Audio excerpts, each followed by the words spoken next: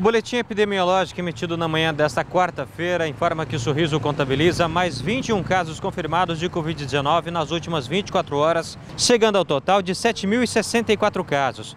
O número de curados corresponde em mais 23 pessoas, 6.757 curados. O número de ativos aumentou de novo em apenas dois casos de ontem para hoje. Quanto aos internados, 12 internados no total.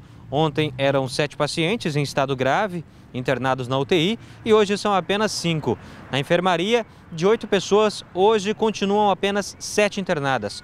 Quanto aos profissionais da Secretaria Municipal de Saúde afastados por suspeita ou confirmação do novo coronavírus, ontem o boletim registrou um único profissional afastado. Inclusive, foi o destaque do boletim de ontem, mas Infelizmente, mais dois profissionais precisaram se afastar por suspeita ou, confirma ou confirmação do novo coronavírus. O número de suspeitos praticamente não mudou, apenas uma pessoa a mais de ontem para hoje e o número de pacientes com sintomas que recebem acompanhamento de profissionais da Secretaria Municipal de Saúde em casa teve alta novamente com 29 casos, ficando 407 pessoas em casa com sintomas gripais óbitos. Após a atualização de segunda-feira, os números permanecem os mesmos: 110 mortes em decorrência do Covid-19. Chagas.